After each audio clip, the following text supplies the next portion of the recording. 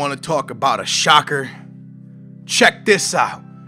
Lloris put in his transfer request. And he doesn't want to stay at Spurs no more. Lloris is our best player. He's the one player I said I don't want to lose. I'm probably going to have to lose him. So Bayern and Barca both asked to buy Lloris. I said, if you guys give me 20 million, 20, 25 million, you can have him. And I'm not sure why Bayern's bidding for him because Bayern has Neuer. I, I don't really understand that. I don't get it one bit, but damn, I was pissed when Lloris put in his transfer request. It was ridiculous. So as I set the team up and you guys can watch me do that, I quickly want to say if you want cheap lava coins, make sure to check out the description down below for UT coin traders. Now, the Lloris thing was I got blindsided, man. I was I was building the team around Lloris. I was building a solid squad, and then all of a sudden, now I have to let him go. It's it's it's ridiculous. Obviously, I'm doing everything in my power to try to keep him here. I really don't know what else I can possibly do. But going into this big match against Arsenal, now I know we got to forget about the Lloris drama and just deal with Arsenal. Spurs versus Arsenal, big rivalry. And the problem is, is right when I try to just forget about what's happening, well, you gotta listen to this. Welcome to today's game. Well, this is the guy everyone's talking about, that late transfer request, late in this transfer window, but he's playing here today, Alan. Well, he is, and that's a sign that the manager feels he's a good professional, that he can concentrate on the job in hand, and there's no mileage. Uh, I'm just trying to get my players, I'm just trying to get myself to forget about this, this shocker, and then we come into the game and the stupid commentator's talking about it. So we have a tough game against Arsenal. We picked up our first three points against Crystal Palace. We beat them 3 to one with, with some pretty good goals from Nelson Oliveira picked up two, and I believe Eto'o picked up one. So the one thing that I'm really starting to notice, especially against Arsenal, is at least in this first half that I was I'm solid defending with 4 4 2 3 1. I mean, I'm not the best defender as you can see sometimes they weave right past me, but I, am I'm, I'm way better defending here than I was at Aston Villa, and obviously I might have better players here. I'm not sure what it is, but I think it's just that I have the two defensive mids to help out down the middle.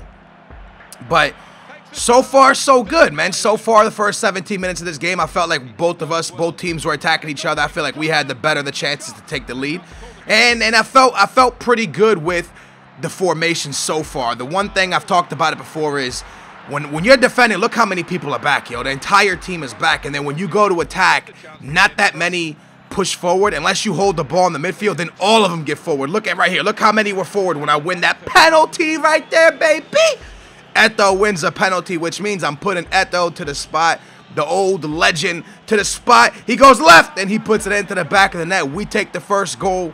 We take the first lead in Arsenal Stadium in front of their home fans we did well. So like I was saying, when you defend, you defend with the entire team. When you push forward, you push forward with the entire team. But it just takes a very, very long time for them to get forward. So now I do like the formation. I'm going to stick with this formation probably for the whole year. I mean, I really, really like that he's giving me a different play style to a style I've never played before in FIFA. Now, right after halftime, I felt good about taking that goal right into the halftime break, but Arsenal hits right back with a very, very cheesy lucky goal. I mean, look how lucky that goal was. It bounced off of my player. I believe that was Kaboul that bounced off of and fell right back to them and they put into the back of the net. But we're a strong team. You know, I think we have great, great players. And that's why right here we hit them on that counter attack. And Eto'o's going to tuck that one home. The legend has three goals already in just two games in the BPL. Eto'o is beasting and feasting for Spurs and proven to be a world-class signing for us in the beginning of the season. Now, if Lloris does leave, and I'm not sure if he is or not yet, so if he does leave, it's going to give us a lot of money to play with, where we might be able to bring in a couple more cams. We might be might be able to bring in a new. Well, we have to bring in a new goalie because I'm not keeping Gomes in goal. So uh, it, there's some positives of of Lloris leaving, and there's a lot of negatives if Lloris leaves because he's a great goalkeeper. Walcott there get that got that one right past Lloris. And here I made some changes. And Nelson Oliveira is my go-to guy. And not only him, Lago. Lago's becoming my go-to guy. I pull out Dembele and I thought about Dempsey, but then I said, you know what? Let's go with Lago. Lago. You know what I'm saying? Lego. So I put Lago in and he, he's becoming my go-to man when, when we need something. Here, oh my days.